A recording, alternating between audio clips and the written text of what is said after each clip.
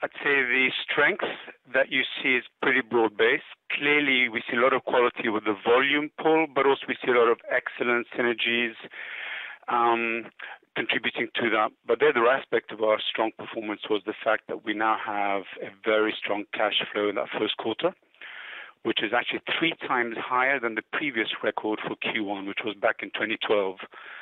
So it's a very, very strong start to the year. Is there a broad-based commoditization going on now in your industry where it used to be based on innovation, which is why volume is so important at this point? I'd say questions such as commoditization are long-term developments are very difficult to identify on a quarter or two. I think fundamentally, if there is such a trend, what Solvay is doing is moving away from the pack as we become much more of a specialties business.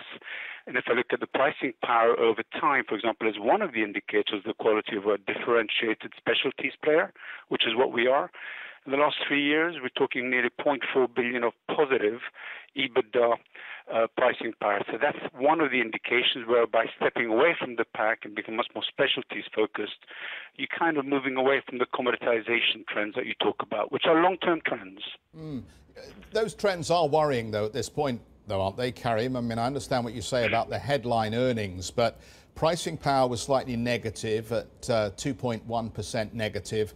And in your own report, you say higher raw materials costs in advanced formulations and lower average prices in performance chemicals have been a factor in that. Um, I don't see how this pricing uh, story is going to improve from here. What do you think? Well, I mean, factually, you're completely correct, but let me complete what you've said. Uh, our resilient businesses that are closer to the commodity end, like the functional polymers, have progressed significantly despite the concerns many pundits had around their ability to expand margins, which Solvay did. But look at the whole portfolio. Yes, we had a slight uh, negative pricing power, but we actually expanded our EBITDA margin by 0.4%. That to me, and this is a strong, strong margin. We're one of the leaders in that context. So the fact that we have an EBITDA margin of 21%, despite that little blip that you talk about, no, I think it's very, very strong. So we're not at all concerned.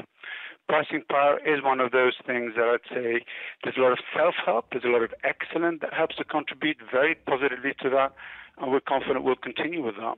So no, I think we're very confident.